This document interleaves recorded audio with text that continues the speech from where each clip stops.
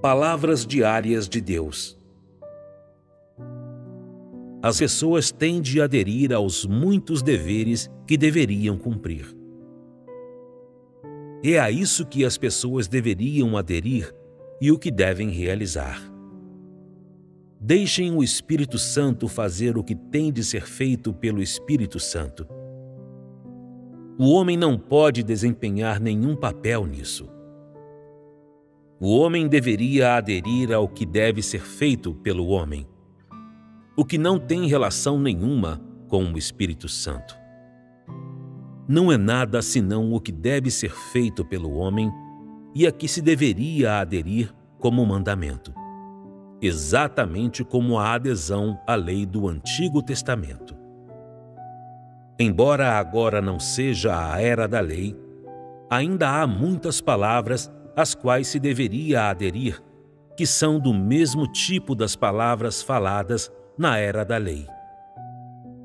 Essas palavras não são executadas simplesmente por se confiar no toque do Espírito Santo. Antes, são algo a que o homem deve aderir. Por exemplo, vocês não devem julgar a obra do Deus prático não devem se opor ao homem que é testificado por Deus. Perante Deus, vocês devem ficar em seu lugar e não ser dissolutos. Devem ser moderados na fala, e suas palavras e ações devem seguir os arranjos do homem testificado por Deus.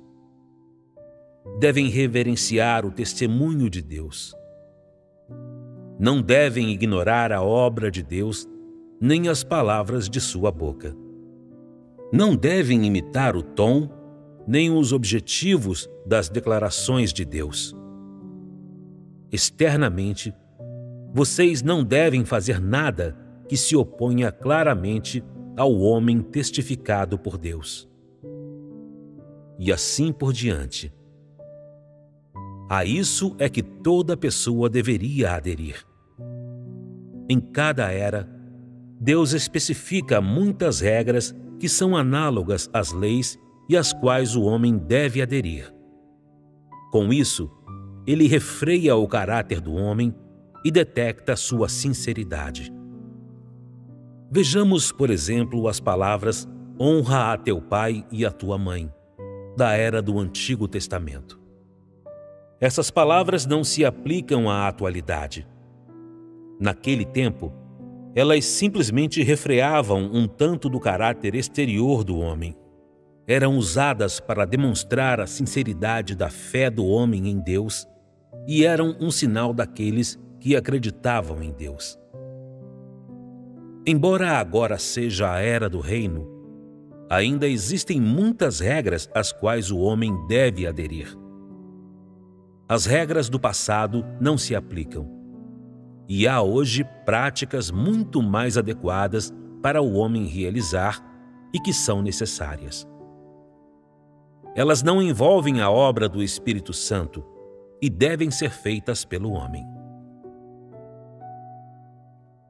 Na era da graça, muitas das práticas da era da lei foram descartadas porque essas leis não eram particularmente eficazes para a obra daquela época. Após terem sido descartadas, foram estabelecidas muitas práticas que eram adequadas à era e que se tornaram as muitas regras da atualidade.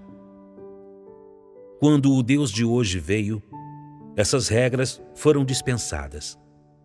Não foi mais exigido que se aderisse a elas e foram estabelecidas muitas práticas adequadas à obra atual. Hoje, essas práticas não são regras. Em vez disso, são destinadas a alcançar efeitos. Elas são adequadas para hoje. Amanhã, talvez se tornem regras. Em suma, você deveria aderir ao que é proveitoso para a obra de hoje. Não dê atenção ao amanhã o que é feito hoje é por causa do hoje. Talvez quando chegar o amanhã, haja melhores práticas que você será solicitado a realizar. mas não dê muita atenção a isso. Antes, adira aquilo a que se deveria aderir hoje, de modo a evitar opor-se a Deus. Hoje, nada é mais crucial para o homem do que aderir ao seguinte: Você não deve tentar seduzir o Deus que está diante de seus olhos, nem ocultar-lhe coisa alguma. Você não deve proferir imundícies nem discurso arrogante perante o Deus à sua frente. Não deve enganar o Deus que está diante de seus olhos com palavras doces e falas agradáveis para ganhar sua confiança. Você não deve agir de forma irreverente perante Deus. Deve obedecer a tudo que é falado pela boca de Deus e não deve resistir nem se opor às suas palavras, nem deve contestá-las. Você não deve interpretar as palavras faladas pela boca de Deus como considera adequado. Você deveria vigiar sua língua para evitar que ela o faça se tornar vítima dos esquemas enganosos dos iníquos. Deveria vigiar seus passos para evitar transgredir os limites estabelecidos para você por Deus.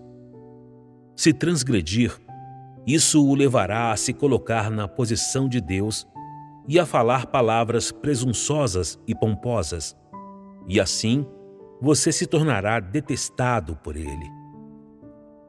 Não deve espalhar de forma descuidada as palavras faladas pela boca de Deus, para que outros não zombem de você e os demônios não o façam de bobo.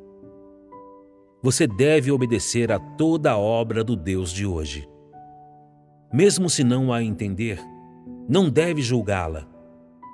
Tudo o que você pode fazer é buscar e ter comunhão. Nenhuma pessoa deve transgredir o lugar original de Deus. Você não pode fazer nada além de servir ao Deus de hoje na posição de homem. Você não pode, na posição de homem, ensinar o Deus de hoje. Fazer isso é equivocado. Ninguém pode ficar no lugar do homem testificado por Deus. Em suas palavras, ações e pensamentos mais íntimos, você permanece na posição de homem. Isso deve ser cumprido.